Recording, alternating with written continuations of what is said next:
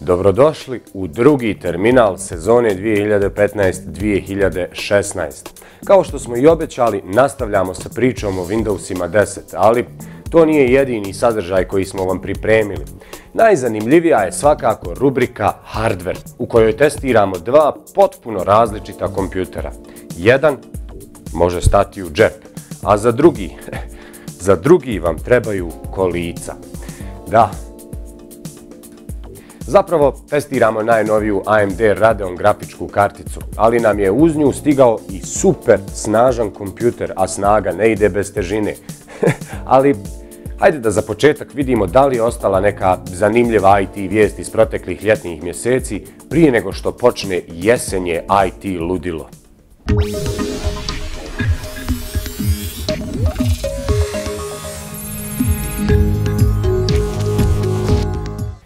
Nakon Samsungovih noviteta iz svijeta naprednih telefona i Motorola je predstavila treću generaciju svojih jeftinih Moto G naprednih telefona. Novi Moto G će biti dostupan u dvije verzije. Prva donosi 1 GB memorije i 8 GB za pohranu podataka, dok ćete u drugoj pronaći 2 i 16 GB. Osim toga, novi Moto G krasi i 5-inčni ekran 720p rezolucije, Gorilla Glass 3 i LTE modem, uz standardnu Wi-Fi i Bluetooth podršku. Što se tiče kamera, Motorola se odlučila za kombinaciju 5 i 13 megapiksela, uz Dual LED Dual Tone Blitz. Sve to je upakovano u kućište otporno na vodu, što je prvi model iz ove serije koji garantuje da će telefon preživjeti i do pola sata provedenih u vodi dubine do jednog metra novi Moto G je već u prodaji. Opera Software je objavila da je njen upravni odbor pokrenuo proces evaluacije kompanije i njene tržišne vrijednosti, kako bi se mogla po potrebi oglasiti na prodaju. Ova vijest stigla je odmah nakon što je Opera prošle sedmice objavila pad zarade u drugom kvartalu ove godine. Odbor je za potrebe spomenute evaluacije zaposlio bankarske savjetnike, a glavni cilj svega jeste da se pronađe strategija koja će dovesti do povećanja vrijednosti za dioničare opera softvera. Konačni zaključak o stanju kompanije i njenoj sudbini odbor će donijeti kasnije ove godine, a kao potencijalni kupac spominje se Yahoo. Opera browser je sve nepopularniji prema podacima web analitičke kompanije Net Applications. Njegov udio je na tržištu web browsera u julu bio svega 1,3%. E, eh, dragi moji terminalci, nadamo se da ste spremni da malo uključite možda ne vijuge, jer stigli smo do čega rubrike Da li znate. Danas vas pitamo, da li znate po kome je IBM-ov superkompjuter Watson dobio ime? Hm, ja imam određene sumnje, ali zajedno saznajmo odgovor na kraju emisije. Lično najviše volim da gledam akcione filmove i ove dokumentarce o preživljavanju u divljini. I sport. Serije? Ništa. To se. A šta mislite ko je napravio ove kolače? Jel mislite da mu je recept dao Cristiano Ronaldo? A šta ti gledaš? Postani logo korisnik i uživaj gledajući program na 192 kanala uz pretplatu od 1 km tokom prva 3 mjeseca i odaberi Samsung Core 2, Huawei G630 ili Samsung TV. Logo, sasvim logično. Za razliku od ovakvih kompjutera, o minijaturnim desktop kompjuterima govorili smo u više navrata, a neke od njih smo i testirali. Još jedan od uređaja koji nas podsjeća da ćemo ekstremno snažne desktop kompjutere uskoro nositi u džepu jeste Intel Compute Stick. Još uvijek se ne radi o ekstremnoj snazi, ali za osnovne zadatke ovaj malo veći USB stick sasvim je dovoljan.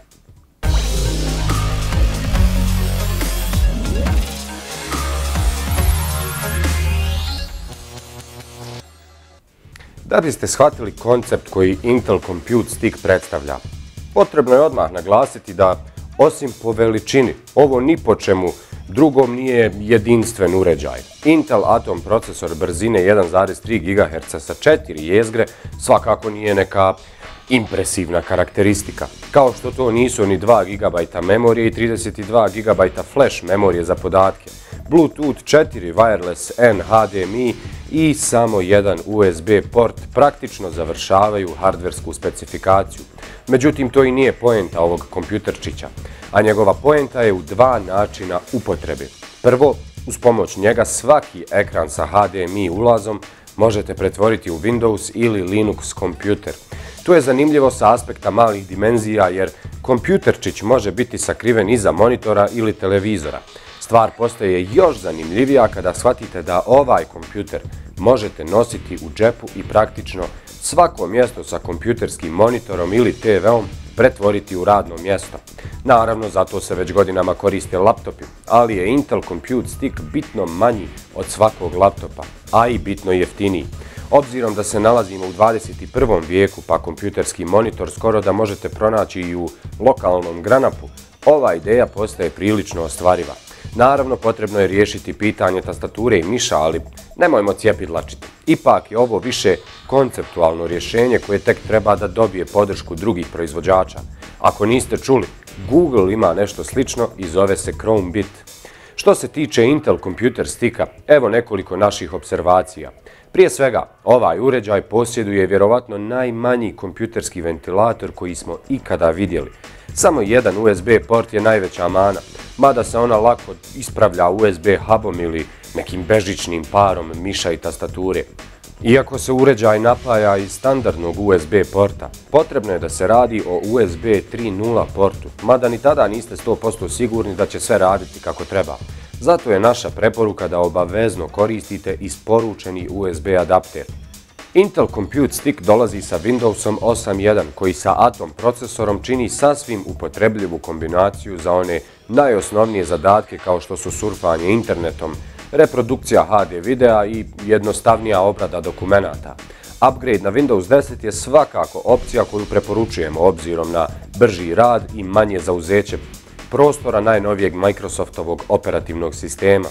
Postoji i verzija sa Ubuntu Linuxom koja ima samo 1 GB memorije i još manje prostora za snimanje podataka, ali je i cijena još manja. U svakom slučaju, Intel Compute Stick je vrlo zanimljiv uređajčić koji već danas ima upotrebnu vrijednost, a kako vrijeme bude prolazilo, ona će samo sve više i više rasti.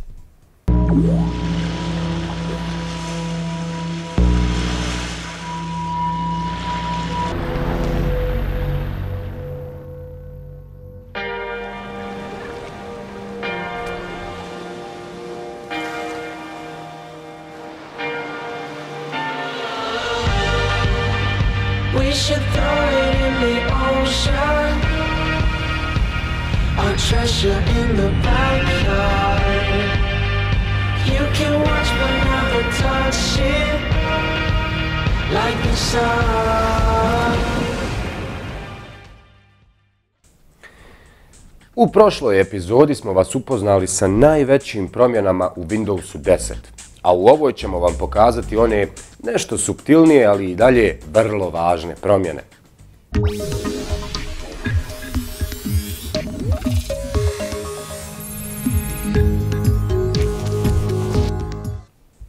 Microsoft je sa novim Windowsima odlučio okrenuti novu stranicu u svojoj historiji. Stranicu na kojoj će njihovi korisnici umjesto ne baš popularnog Internet Explorera za surfanje webom koristiti potpuno novi browser, Microsoft Edge. Nekada poznatiji pod kodnim imenom Project Spartan, Microsoft Edge će se po defaultu ugnjezditi na vašem taskbaru, gdje ćete pronaći njegovu ikonicu koja izgleda kao donekle mutirano slovo E iz dobro poznate Internet Explorer ikonice. I ne samo da ćete ga po defaultu pronaći na taskbaru i u start meniju, ukoliko niste obratili pažnju na dodatne opcije prilikom instalacije Windowsa 10, ubrzo ćete otkriti da je Edge postao vaš novi defaultni web browser. Interfejs programa je oličenje minimalizma i usjećanje priziva druge moderne web browsere. U svakodnevnom korištenju Microsoft Edge se pokazao kao sasvim solidan web browser. Interfejs programa je intuitivan, a učitavanje stranica zadovoljavajuće brzo. no vrijedi istaći i to kako podrška za ekstenzije još uvijek nije aktivna, tako da će napredni korisnici ipak morati pričekati još neko vrijeme prije nego razmotri eventualni prelazak na Microsoft Edge. Sjećate li se takozvanih modernih aplikacija iz Windowsa 8? Sjećate li se kako su se pokretale preko cijelog ekrana i kako ih na desktopu vjerovatno nikad niste ni koristili? Dotične su i dalje tu, samo što su ovaj put nešto ljepše i, što je još bitnije, konačno su upotrebljive na desktopu, a ne samo na touchscreen uređajima. Kao što je i obećao, Microsoft je sa novim Windowsima korisnicima ponudio nove univerzalne aplikacije.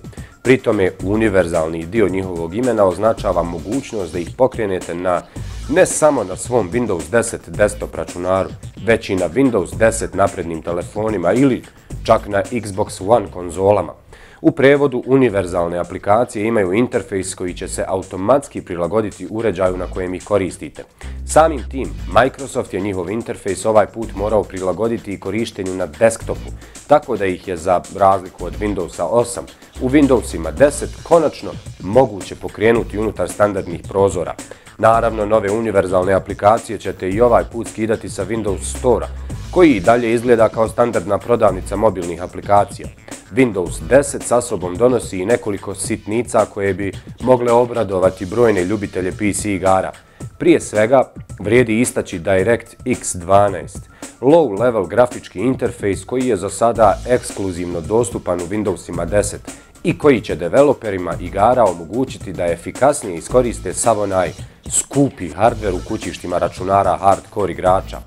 Glavne prednosti novog DirectX-a u odnosu na njegove prethodnike su bolja podrška za procesore sa više jezgri i za sisteme sa više grafičkih kartica, što bi trebalo rezultovati igrama koje izgledaju bolje nego prije i koje maksimalno iskorištavaju sav dostupni hardware.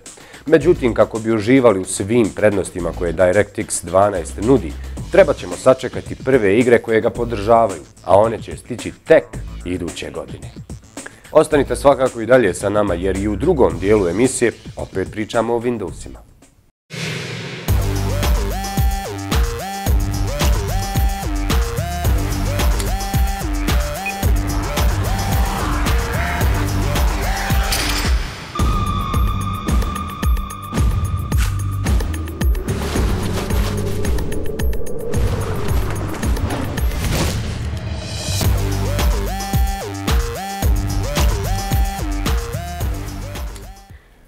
Krajem ljeta na naše tržište je stigla najnovija AMD-ova kartica najvišeg segmenta, Radeon R9 Fury.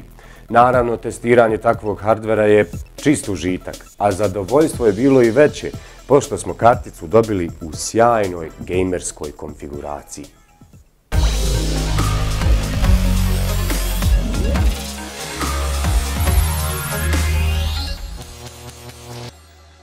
E, prije nego se bacimo na zvijezdu ovog teksta Safir Radeon R9 Fury 3X overclocked grafičku karticu, da prvo vidimo pakovanje u kojem je došla. Pritome ne mislimo na kartonsku ambalažu, nego na kompjuter u kojem se kartica nalazila. Glavne komponente su bile umotane u predivno kućište Silverstone Fortress SST FT02B. Pored toga što izgleda fantastično, Kućište je vrlo funkcionalno zbog rotacije glavnih komponenti za 90 stepeni. Pristup komponentama je potpuno jednostavan, a jedino se treba navići na činjenicu da se kablovi uključuju na gornjoj strani, iako problema sa njihovim rotiranjem nema. Osnovu sistema je činila matična ploča Asus Sabertooth TUF Z97 Mark S. O njoj nećemo puno toga reći, pošto smo prije nekih godinu dana testirali Mark II izdanje ove ploče i tada je osvojila našu nagradu Info preporuka. Intelov i7 procesor oznake 4790 sasvim dobro pristaje ovakvoj konfiguraciji, mada bi neki mogli poželjeti njegovu K verziju za izvlačenje maksimalnih performansi overclockiranjem, što svakako ne bi bio problem obzirom na masivne hladnjake u kućištu. 16 GB memorije, 250 GB SSD i terabajtni HDD su baš ono što bismo i sami stavili u ovakvu konfiguraciju, pa su dalji komentari suvišni. Ali tu nije kraj. Uz konfiguraciju su isporučeni rokat, miš i tastatura koji baš kao i kućište zaslužuju posebne recenzije. Isku FX tastatura ima osvjetljenje tipki u boji koju vi odaberete, te komunicira sa rokat Cone Pure mišem, pa im možete zajedno mijenjati konfiguraciju zavisno od igre koju igrate. Na primjer, tastatura može smanjiti rezoluciju miša dok ciljate kroz snajper. Miš je zapravo dio paketa imena Military Starter Bundle, u kojem se još nalazi i podloga. Cone Plus je optički miš rezolucije 5000 DPI, a radi se o jednostavnom mišu koji fantastično leži pod rukom. Na kraju tu je i BenQ monitor za igrače oznake XL2411Z, koji opet zaslužuje posebnu recenziju, pošto je nemoguće navesti sve njegove karakteristike u samo par rečenica.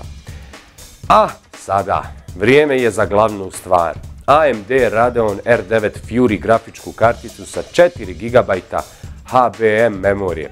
HBM je skraćenica od High Bandwidth Memory, a riječ je o novom tipu memorije koji mijenja standardni GDDR5, u odnosu na koji nudi znatno manje i energetski efikasnije memorijske čipove. Konkretno HBM memorija u odnosu na GDDR5 troši i do 50% manje energije, pritome nudeći do 60% veću memorijsku propusnost. Testirana kartica je nosila potpis Safir i bila je nešto veća nego što smo očekivali, no sama kartica je prilično kratka te je za njene ogromne dimenzije ipak zaslužan gigantski hladnjak. Ipak dimenzijama je lako progledati kroz prste obzirom da je hladnjak vrlo tih i efikasan. Tokom testiranja uopšte nismo čuli njegova tri ventilatora, dok se temperatura kartice rijetko kada dizala iznad 70 stepeni Celzijusa. Uf, vrijeme je da malo odmorimo od silnih brojeva, pa ostatak testa pogledajte u drugom dijelu današnje epizode terminala.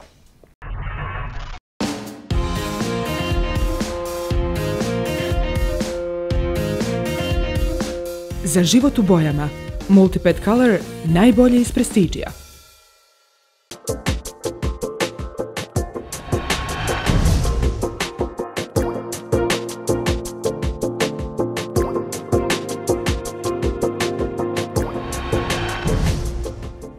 Još uvijek nismo završili sa novostima koje je donio Windows 10. Tu je i novi digitalni asistent.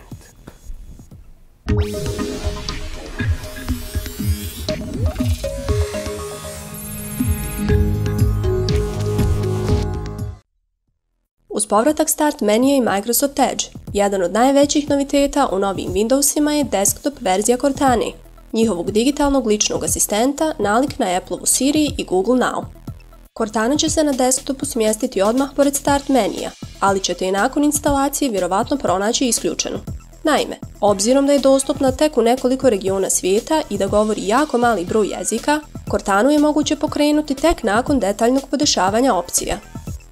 Konkretno, morat ćete odabrati jedan od podržanih jezika, a nakon toga ćete morati uključiti i opcije za praćenje lokacije, te pristati na Microsoftove uslove korištenja, a oni uključuju mnogo toga. Uz to, Cortana će pratiti i vaš browsing history ukoliko budete koristili Microsoft Edge.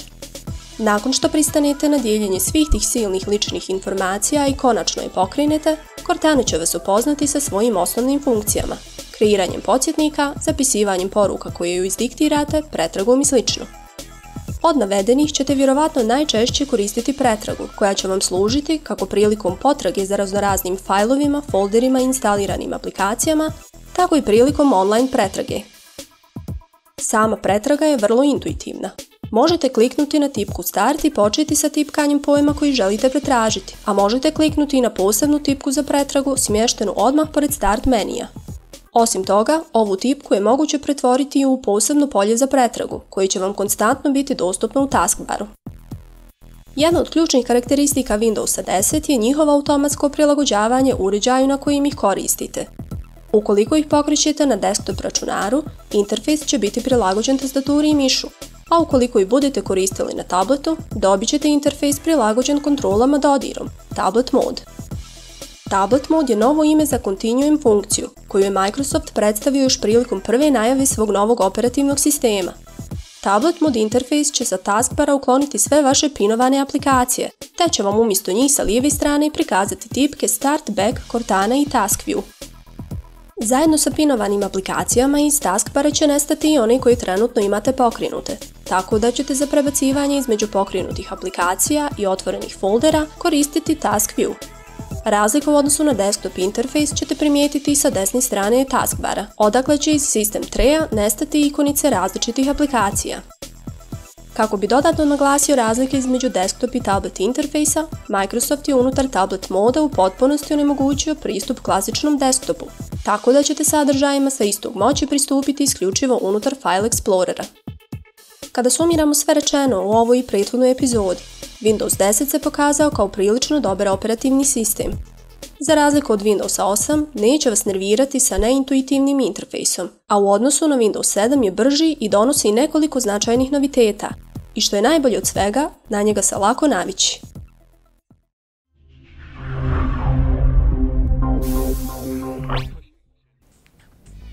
Vraćamo se Radeon R9 Fury kartici i njenim osnovnim specifikacijama. Što se tiče konkretnih specifikacija, Safir Radeon R9 Fury 3X Overclocked je, kao što se da naslutiti iz imena, overclockirana verzija regularnog Furya. Naime, Safir je podigao frekvenciju GPU-a sa 1000 na 1040 MHz, dok je frekvencija memorije ostala identična referentnim modelima i iznosi 1000 MHz. Sam GPU je član AMD-ove Graphics Core Next porodice čipova. Izrađen je u 28 nanometarskom procesu i donosi 3584 stream procesora. Naravno, podrška za DirectX 12 se podrazumijeva. Očekivano R9 Fury se tokom testa pokazao kao jedna od onih grafičkih kartica o kojima sanja svaki PC igrač, jer će bez ikakve muke pokrenuti skoro svaku moguću igru sa svim detaljima na maksimalnim postavkama.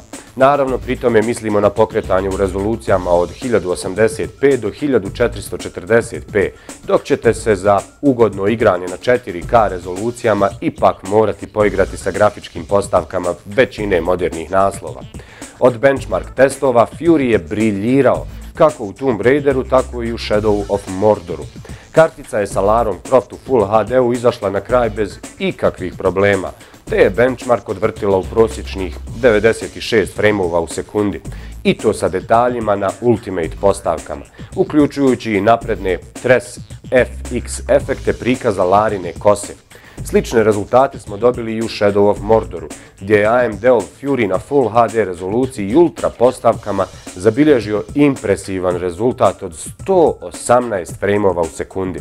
Pored toga, Shadow of Mordor smo testirali i na 4K rezoluciji, na kojoj je Fury uspio dogurati do prosječnog framerata od 47 sličica u sekundi, i to sa svim grafičkim postavkama na maksimumu. Karticu smo također testirali u Project Carsu, gdje smo već naišli na nešto interesantnije rezultate. Naime, Fury je igru vrtio sa svim detaljima na maksimumu u svim igrivim frame rateovima od 30 do 60 sličica u sekundi. Konkretno, igru smo testirali na predivnoj California Highway stazi sa 30 drugih trkača, pri čemu smo postavili automatsku promjenu vremenskih uvjeta sa magle i kiše na oluju te potom na vedro vrijeme. Očekivano framerate je bio niži tokom oluje i prilikom sudaranja sa gomilom drugih vozila, kada se obično držao brojke od 40 sličica u sekundi, da bi nakon razvedravanja skočio na 50, a nerijetko i na 60 sličica u sekundi. Na kraju nismo mogli odoljeti, a da sa Furijem zaigramo i fantastični Witcher 3 Wild Hunt, koji se na Full HD rezoluciji glatko vrtio sa svim detaljima na maksimumu. Sve u svemu, Safir R9 Fury 3X se pokazao kao odlična kartica koja će usrećiti svakog igrača.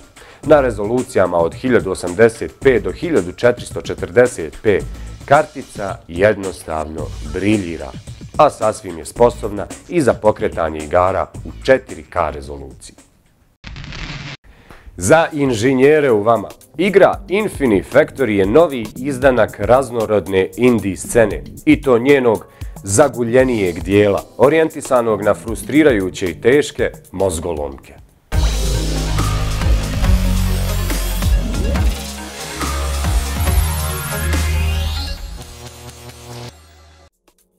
Ideja Infinifactorija je krajnje jednostavna. Oteli su vas vanzemaljci i natjerali da za njih gradite različitu mašineriju, fabrike i proizvodne procese. Ono što uopšte nije jednostavno jeste skontati kako napraviti funkcionalne fabrike u kasnim zagonitkama, onima koje počinju od trećeg poglavlja. Igranje ove igre na momente djeluje kao da vam neko gura mozak kroz drobilicu. Par puta smo se zacrvenili od stida kada smo momački zaglavili na nekim od zagonitki. Nemoćni da pojmimo šta, gdje i kako treba rotirati, zavariti i gurnuti da bismo dobili traženi dio. Gameplay se zasniva na redanju konstrukcijskih blokova različite funkcionalnosti kako biste dobili mašineriju potrebnu za prelazak nivoa. Na primjer, osnovni blok je pokretna traka. Redanjem više takvih u jedan niz možete prebaciti komad neke opreme i dalje. Osim toga, imate blokove za zavarivanje, senzore, platforme za odgurivanje koje kablovima povezujete sa senzorima, blokove za rotaciju i druge. U slučaju da nešto prođe ispred senzora, svi odgurivači povezani sa njim će se aktivirati. Na vama je da skužite kako to možete iskoristiti. Misije podrazumijevaju kombinovanje različitih izvornih elemenata da biste dobili kompleksniju strukturu koju je potrebno prebaciti na ciljnu platformu. Svu mašineriju morate sami izgraditi gore spomenutim konstrukcijskim blokovima – sve mora automatski funkcionisati, a fabrika samostalno sklopiti dijelove tražene strukture na konstrukcijskim platformama koje ste sami napravili, okrenuti na pravu stranu i kompletnu zavarenu strukturu dovući do cilja. Takve virtuelne fabrike i Infinifactoria podsjećaju na one stvarne, u kojim razni roboti zavrću i sastavljaju stvari koje posle vidimo u prodavnicama. Jedna paklena zagonitka uključuje pravljenje zavarenog zvijezdastog oblika od samo jednog izvora osnovnih blokova – Taj jedan izvor senzorima i guračima treba razdijeliti na tri izvora blokova, koji će se putem pokretnih traka susretati na ključnim mjestima za varenje, sastavljanje i rotiranje. A opet, nakon što sve izgradite, ponosno gledajući kako vaša fabrika funkcioniše kao dobro usklađena baletna trupa, postane vam jasno koliko je sve u suštini lako i logično za složiti. Najbolje od svega je to što imate dosta prostora za improvizaciju, budući da igra mjeri efikasnost vaše fabrike i uspoređuje se onima drugih igrača. Često ćete napraviti pretjerano kompleksnu mašineriju, te je potrebno dobro razmisliti o tome kako napraviti najjednostavniji proizvodni proces. Unity Engine, na kojem je Infinifactory napravljen, nosi se izvrsno sa simuliranjem mašinerije i velikim brojem aktiviranih blokova po sceni. Igra se samo jednom zaglavila i srušila, a i tada je uredno snimila sve što smo konstruisali u aktivnoj misiji. Uglavnom, čista petica. Jedan od najboljih i najzaraznijih naslova ove godine, po našem mišljenju. Šteta samo što igra nije duža, budući da ju je upornim igranjem moguće završiti za nekoliko dana, nakon čega ćete ostati kao riba na suhom, šokirani činjenicom da je ovoj dobroti došao kraj. Mada, Infinifactory ima editor sa Steam Workshop integracijom, pa možete uživati u brojnim zagonetkama drugih igrača. I došlo je vrijeme da odgovorimo na pitanje da li znate po kome je IBM-ov superkompjuter Watson dobio ime. Neka podignu ruku oni koji su odgovorili po doktoru Watsonu, čuvenom pomoćniku još čuvenijeg Sherlocka Holmesa. Ha, nažalost, iako se ovo čini kao vrlo prigodno ime za superkompjuter koji je pobjedio najbolje takmičare kviza Jeopardy, istina je malo drugačija. Watson je ime dobio po prvom direktoru kompanije IBM, Thomasu J. Watsonu. On je u prvoj polovini 20. vijeka postavio temelje za ono što je IBM danas, pa nije ni čudo da su mu inženjeri željeli odati zasluženu počast. Toliko za ovaj put. Nadamo se da smo vam otkrili dovoljno detalja o novom Windowsu 10, a dodatne informacije ćete pronaći na našem web sajtu na adresi info.ba. Pozdrav do epizode 87.